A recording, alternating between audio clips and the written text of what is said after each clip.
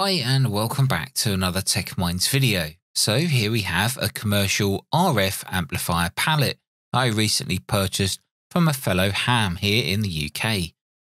Now I believe this is rated at around 250 watts with just 100 milliwatt input. However, this pallet will need some modifications performed to it and mounted onto a large heatsink before it can be used on the 70cm ham band as I plan to do. It will also require a pretty hefty low pass filter mounted onto the output before it goes off to the antenna. And, well, this is what we're going to build in today's video. If you're interested in seeing the amplifiers build, then make sure to be subscribed so you do not miss those videos when they're published. Also, let me know in the comments if that is actually something that you'd be interested in seeing. So in the past, I've made some rather small low pass filters for the 70 centimeter band. Now these are great for receive and probably okay for a small amount of power, but nothing like what the RF pallet amplifier that I showed you here is capable of. Now a friend of mine, Mike G0MJW, sent me some plans on how to build a high power 70 centimeter band low pass filter. Now these plans are actually based on the W6 PQL design that you can also find online. Now low pass filters normally use capacitors and air coil inductors, and that's the same for this design. However, the capacitors with this design actually uses the PCB. Three rectangles cut out in a specific size onto some PTFE double-sided PCB board. Now, for the life of me, I could not find anywhere to purchase this type of PCB with this type of material. Now, the whole filter board size is only 100mm by 50mm, but still I could not find anywhere to buy some online. Well, luckily, Mike G0MJW come to the rescue again and sent me an exact cutoff of 100 by 50mm of this PTFE board material. Now, the way in which I plan to make these cutouts in the board is rather cool and something I've never done before, but more on that in a moment. Now, these are some samples that I made just using some cheap single-sided copper board, just so that I could get the design right. Sometimes not all the copper was removed, and sometimes it was slightly the wrong size, but after trial and error, I ended up with a design which actually worked. So how did I achieve this? Well, I used one of these. Now this is the Makera Carvera Air. It's an automatic CNC machine. Now it is fairly new to the market and has to be one of the best priced desktop CNC machines that I've seen. Now I'm not a CNC expert by any means and cutting PCB tracks is not the only thing that this thing can do. It can mill aluminium, wood, plastics and all types of materials. You can also get attachments like a laser attachment for etching and also a 4th axis spindle. Now I do actually have all of these options, but I'll be using them in future projects, so not all in one video. Now as standard it comes with this little laser probe which is used to auto level the bed. Now that takes away any manual leveling before any job. You also get this rather funky emergency stop button if the unthinkable happens. You also get a starter pack of bits and tools, and there's plenty of options to choose from, including full PCB manufacturing, which includes solder mask and actually that etching on the board. Okay, so let's start building this high power 70cm low pass filter.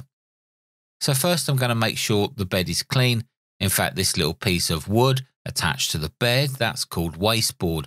This is so that if any bits manage to drill through the material that you're milling out or drilling, then it protects the bed itself. It also protects your bits because this bed is actually made of hard metal. Now after cleaning, I then place that 100mm by 50mm PTFE board into place. Now you get this lower left corner bracket which makes the PCB snugly fit up to it. You also get these little clamps which should be placed on each edge of the PCB just to make sure that it stays still. Now, if your PCB is slightly warped, then you can place these on top of the board on the edges, just make sure they're not be in the way of any drill bits as they come down. Now, you can also use some double-sided tape just to help keep that board level on the wasteboard. Now with my design already converted to G-code and sent to the CNC machine's internal memory, I can actually use my iPad over Wi-Fi to call up that design and then start the job. So the first thing it will ask you to do is insert the leveling laser probe. Changing bits or inserting this probe is actually super easy. You just pull down this lever and then slide the probe or bit into place, then just release that handle upwards just to make sure that it's a secure fit. Now when I press confirm on the app, the Carvera Air will now probe the board using that laser probe that we just inserted. Now this will store the level of the board at certain points and you can actually increase or decrease the amount of leveling points on the Carvera controller software before starting the job. Now once that is complete, I'll now change that leveling probe out to the first bit that we need to do the job. Now this first bit will be used to cut the tracks on the PCB. Now for this, I'm using a 0.2mm 30 degree metal engraving bit. Now we will use a different bit when it comes to drilling the holes for the N-type connectors.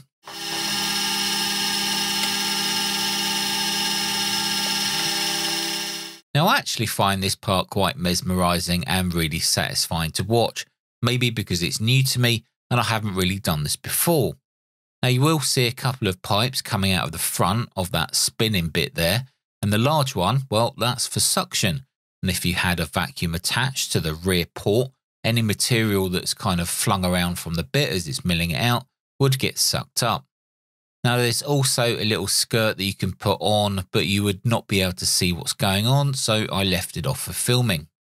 The other little pipe to the right of this is for blowing air onto the bit.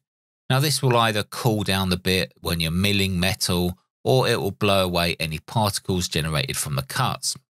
Now in this video, I'm just using a handheld vacuum, which also has a blow feature. Now I really do need to get a cheap air compressor or pump for this, so if you've got any recommendations, let us know down in the comments. Now this process can actually take a little time, and that's depending on the speed and how much there is to mill away. Once the three rectangles, which make the capacitors, have been cut, it's now time to change the bit. This time I'll fit a corn bit which will make the holes for the N-type connectors, so that's going to be 10 holes in total. Now making sure that the depth of these holes is not too deep is actually quite important as you really not want to drill too much into that wasteboard if you can help it. But I guess it's better to drill into that wasteboard than the metal bed, that's for sure. Now I think I set the drill depth to around 2mm for these holes whereas the tracks for the capacitors were set to around 0.1 millimeters deep. Now the board itself is actually around 1.5, 1.6 millimeters thick, just in case you was wondering. Now you will also see a lot more material building up on top, and that's because we're actually cutting the actual PCB itself to make those holes. So using a blower is essential here if you want to see what's actually going on. With the board now finished, it's time to remove it and it's simple as just undoing those supporting clamps that we attached earlier. So back up in the shack, now it's time to inspect the board more closely. And yep, I am extremely happy with this and how it turned out. All of the edges appear to be perfect, the depth of the tracks are quite decent, and the holes for the N-types appear to be spot on. Temporary fitting one of those N-type sockets shows that the drawing was actually spot on. So now it's time to start building the filter board itself. So first I'll attach these N-type sockets like this using bolts and nuts to secure them into place. Now you can see here that the center pin comes through the PCB with the white insulation still intact. Now to ensure a perfect ground connection between the PCB and the nuts on the N-type, I decided to solder them. However, after a few seconds of attempting to solder these nuts, I realised that it just wasn't going to happen. Now what I should have been fitting here is actually brass nuts, a bit like this. Now these solder extremely easy, especially with my soldering iron set to 50 million degrees Celsius. Well, not 50 million, more like 450. Now it was time to make the coil air inductors. Now, according to the specification sheet that we looked at earlier, I needed a 4.1 millimeter former, and luck be have it, one of my tool bits was the perfect diameter of 4.1 millimeters. Now using 1.2 millimeter copper wire, I made the first of the four inductors.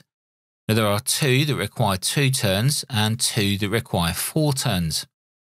The first one, L1, I turned clockwise around the former and then just used some pliers to make the little legs so I could solder them onto the PCB and center pin easily. So this is how the first one looked once soldering into place. I then made the other two-turn coil using the same copper wire and same 4.1mm former, but this time coiling it anti-clockwise. This second two-turn coil gets soldered onto the other end of the PCB between the PCB and the center pin of that other N-type socket. Now next it was time to make the first of two four-turn coils, again using the same 4.1mm former and this time coiling it clockwise. Now I also made the last four-turn coil turning it anti-clockwise this time. Holding the coil near the PCB between the pads helped me realise where I needed to snip those little legs coming from the coils. Now I definitely used way too much copper wire when I was turning it but I guess it's better to have too much than realise you do not have enough in the middle of winding. So now it's time to solder these last two coils to the board between those capacitors. Now the copper wire gets very hot all the way through very quickly. Copper is an extremely good conductor, so using a pair of tweezers to hold the coil while soldering is advisable, unless of course you're like my missus and have asbestos fingers and do not feel the heat. And there we go, one high power 70cm low pass filter.